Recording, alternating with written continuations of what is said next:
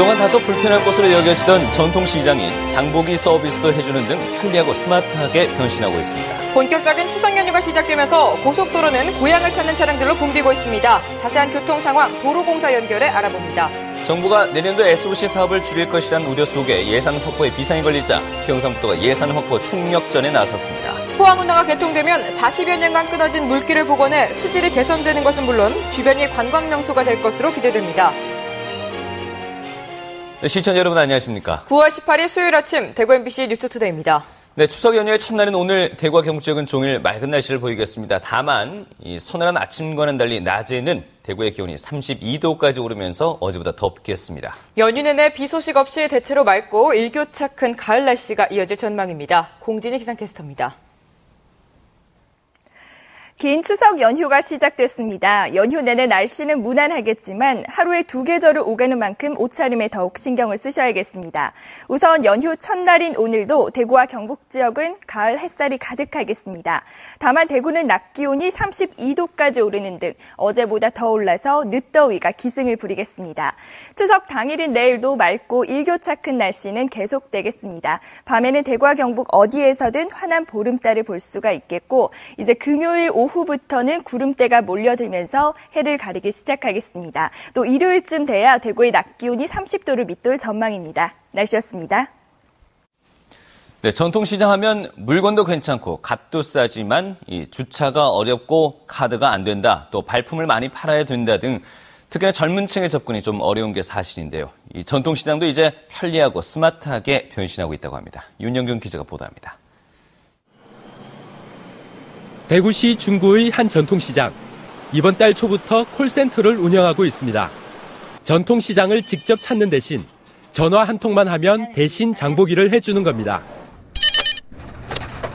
감사합니다. 교동시장입니다.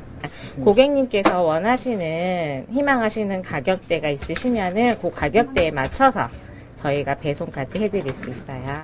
이 전통시장은 가게마다 전문으로 취급하는 품목이 달라 조금이라도 싼 제품을 사려면 발품을 팔아야 했습니다. 하지만 이젠 콜센터에서 가장 싼 제품을 검색하면 장보기 도우미가 구입해 줍니다. 프라이팬 주문이 들어와가지고 프라이팬 전문 매장에 프라이팬을 지금 사러 가는 중입니다.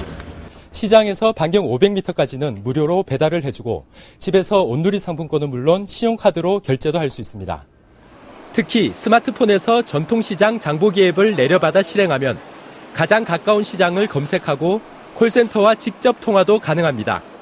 꾸준하게 하루에 주문량이 늘고 있습니다. 주로 주문하시는 분들은 어, 뭐 독거 노인 그 외에 외국인 그리고 그 신혼부부들 그리고 이제 그 힘없는 그 분들 이런 분들이 대구에서는 칠성진 경명시장과 교동시장, 경북에서는 경주중앙시장과 포항죽도시장에 이 시스템이 우선 도입됐습니다.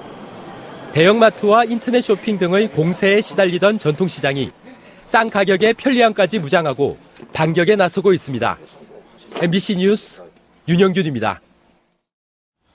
보험개발원과 손해보험협회에 따르면 지난 2010년부터 3년 동안 추석 전날 평균 교통사고 건수가 3,600여 건으로 평상시보다 28% 많았고 추석 당일엔 5.1% 증가한 3,000건 정도 발생했던 것으로 나타났습니다.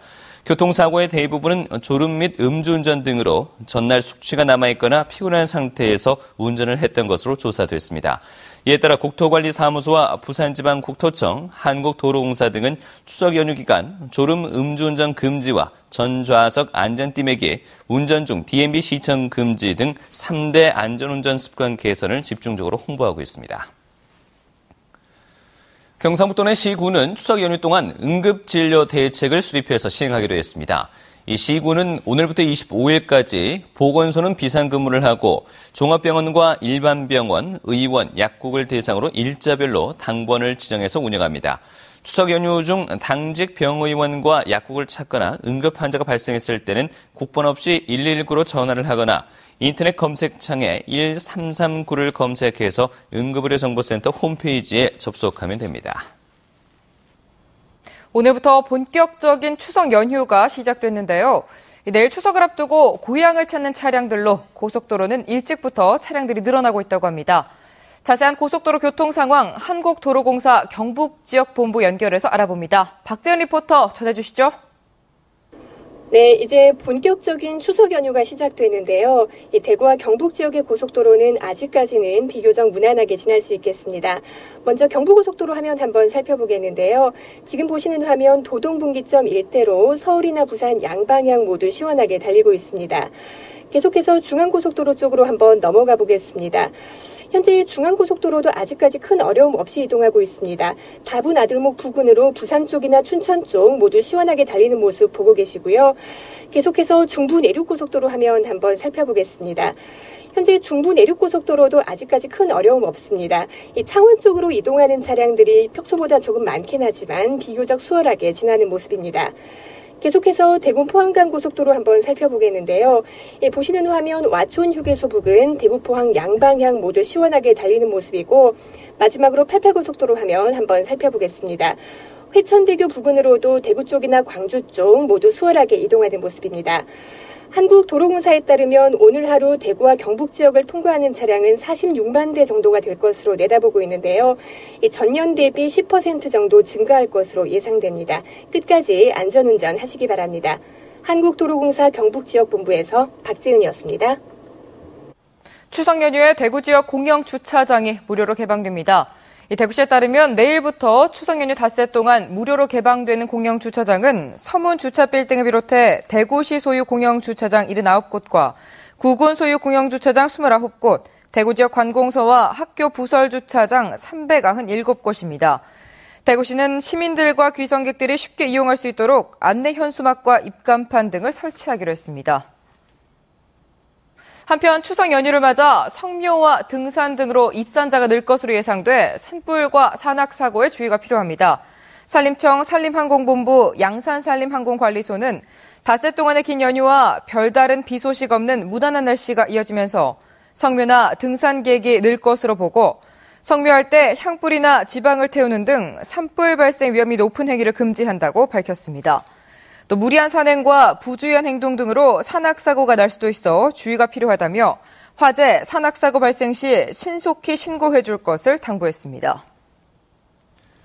정부의 내년도 SOC 사업 예산이 크게 줄어들 것이라는 우려의 목소리가 높습니다. 경상북도는 아직 여러 심의 과정이 남아 있다며 내년 예산 확보에 총력전에 나서고 있습니다. 조동진 기자가 보도합니다.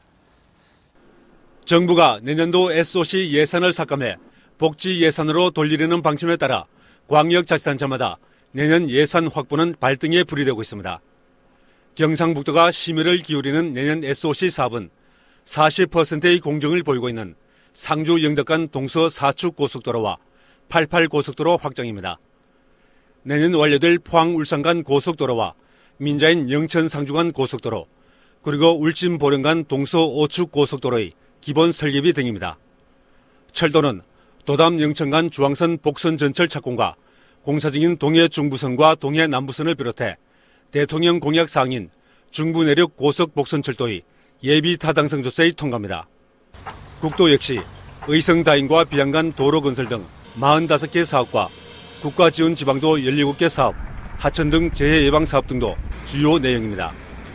경상북도는 내년 SOC 사업의 예산이 20, 30% 삭감될 것으로 예상하면서도 올해 수지는 3조 3천억 원을 목표로 총력을 기울이고 있습니다.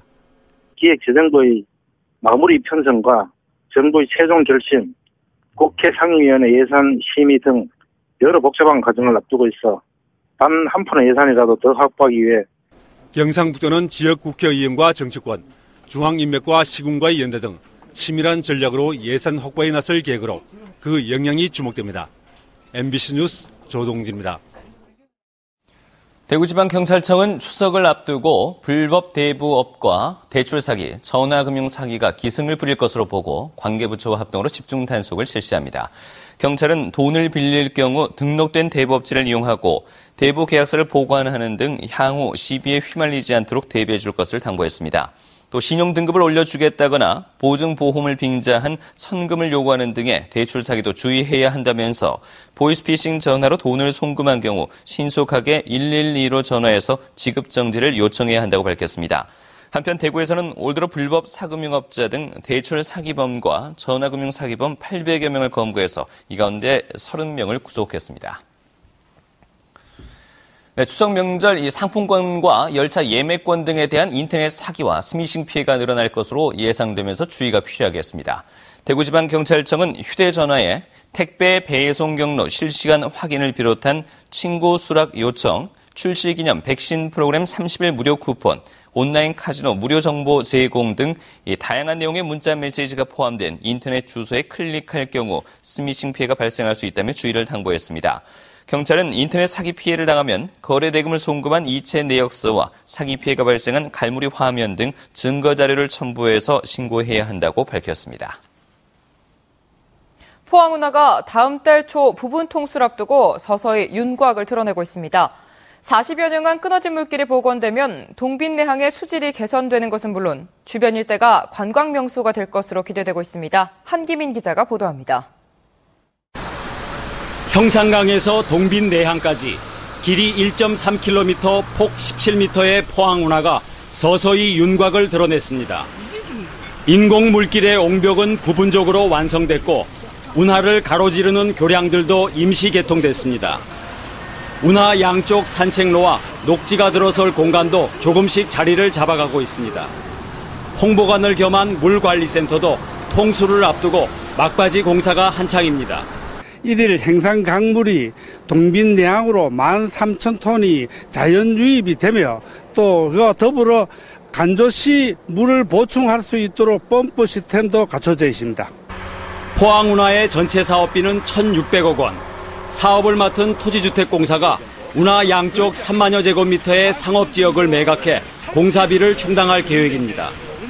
포항시는 운하가 개통돼 물길이 흐르면 막혔던 동빈내양의 수질이 개선되고 유람선 운항과 주변 개발을 통해 전국적인 관광 명소가 될 것으로 기대하고 있습니다. 이것은 나의 도심 재생적인 역할도 하고 또 환경적인 도시로 거듭나는 그러한 프로젝트도 되고 이것 또한 이제 관광 인프라가 돼서 많은 관광객들이 몰려올 것입니다. 하지만 경기 침체로 주변 땅 매각이 여의치 않아 민간 투자 유치가 시급합니다. 또 인근 송도와 해도동 일대의 재정비 사업이 진전이 없어 구도심 재생의 경제적 효과를 극대화할 수 있는 방안도 서둘러 해결해야 할 과제입니다. 포항시는 다음 달 초 일부 구간을 부분 통수한 뒤 11월 초에 형산강과 동빈내양의 물길을 완전히 이을 예정입니다. MBC 뉴스 한기민입니다. 대구시가 2013 대구 세계 에너지 총회 성공적인 개최를 위해 부서 간의 협력을 강화하기로 했습니다. 대구시는 이달 말 대구에서 열리는 전국 장애인체전과 다음 달 세계 에너지 총회가 도시 브랜드 가치를 높일 수 있는 기회로 보고 국내외 행사 경험이 많은 부서와 부서장들이 행사 준비에 참여하는 방안을 찾기로 했습니다. 행사 지원 부서 간의 협력도 강화하고 대구 인근 도시에서 숙박을 하는 행사 참가자가 대구까지 오는데 무의미하게 시간을 보내지 않도록 대책을 마련하는 등 섬세한 부분까지 신경 쓰기로 했습니다. 대구 달성군 강정 고령보에 있는 4대강 문화관 디아크가 추석 연휴를 맞아 다양한 행사를 개최합니다. 오늘부터 20일까지는 널뛰기와 대형 윷놀이 등 전통 민속놀이와 코미디쇼, 추석 가요제 등의 행사가 열립니다.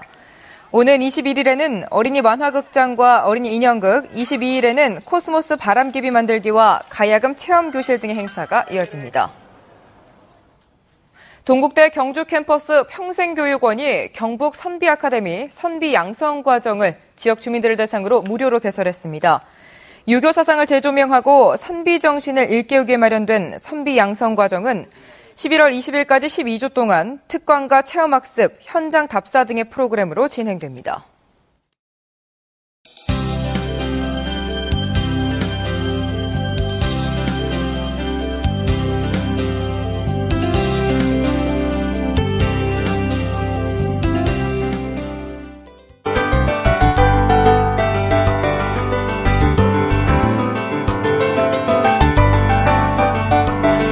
추석 연휴가 시작됐습니다. 연휴 내내 날씨는 무난하겠지만 하루에 두 계절을 오가는 만큼 옷차림에 더욱 신경을 쓰셔야겠습니다. 우선 연휴 첫날인 오늘도 대구와 경북 지역 가을 햇살이 가득하겠습니다. 다만 대구는 낮 기온이 32도까지 오르는 등 어제보다 기온이 더 올라서 늦더위가 기승을 부리겠습니다. 추석 당일인 내일도 맑고 일교차 큰 날씨는 계속되겠고 또 밤에는 대구와 경북 어디에서든 환한 보름달을 볼 수가 있겠습니다. 지금 전국적으로 맑은 하늘이 드러나 있습니다. 오늘 동해상에 위치한 고기압의 영향권에서 쾌청한 하늘이 펼쳐지겠습니다. 다만 자외선 지수가 여전히 높습니다. 야외 활동하실 때는 자외선 차단에 계속 신경을 쓰셔야겠습니다. 현재 기온 대구 17도, 낮 기온은 32도로 일교차가 무려 15도나 벌어지겠습니다.